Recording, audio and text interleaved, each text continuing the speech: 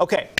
If you find yourself next to a sleeping passenger, you're on a plane, Mm-hmm. and you're on the aisle seat, would you wake them up when it becomes snack time?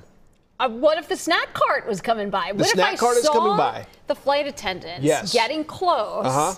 and I knew they had delicious pretzels? Are you going to wake up your spouse or the stranger next to you in your seat? Well, 60 cents, 66% of Americans say, don't do it. Let me sleep. Mm-hmm. Let you sleep. Are we letting you sleep or do you want your pretzels? Do you want do you want your Diet Coke? Um, if it's somebody that I know that's sitting next to me, you can. If you know what I like, then just go ahead and get it. That Mm. good you- answer. Yes. Good yes. answer. But if if you don't know me, just let me sleep.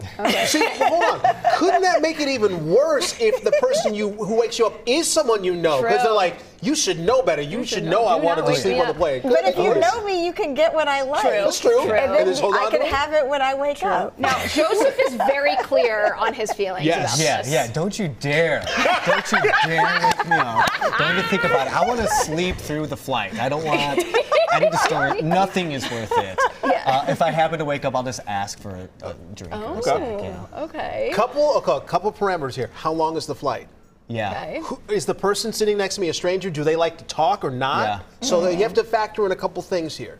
But for the most part, don't wake me up. Yeah. Okay, I want to be woken up. You want to be? Yeah, I you want to be woken up for those honey roasted peanuts? no, You've had not those for the with peanuts, Okay. but I want my Diet Coke and I want my water. well, you know you want I- your Diet Coke. I know I want all that, Yeah. and I will be very upset if, you I wake up miss it. it. then I gotta go back and get it. Well, see, then you just make up the excuse. Sorry, there was turbulence on the flight, so they're not Yeah. doing drink service or something. doing whatever. drink It's true. Right? You could miss it. Yeah. what if I missed it? You just You missed it. Hey, you've had them before. You can have them again.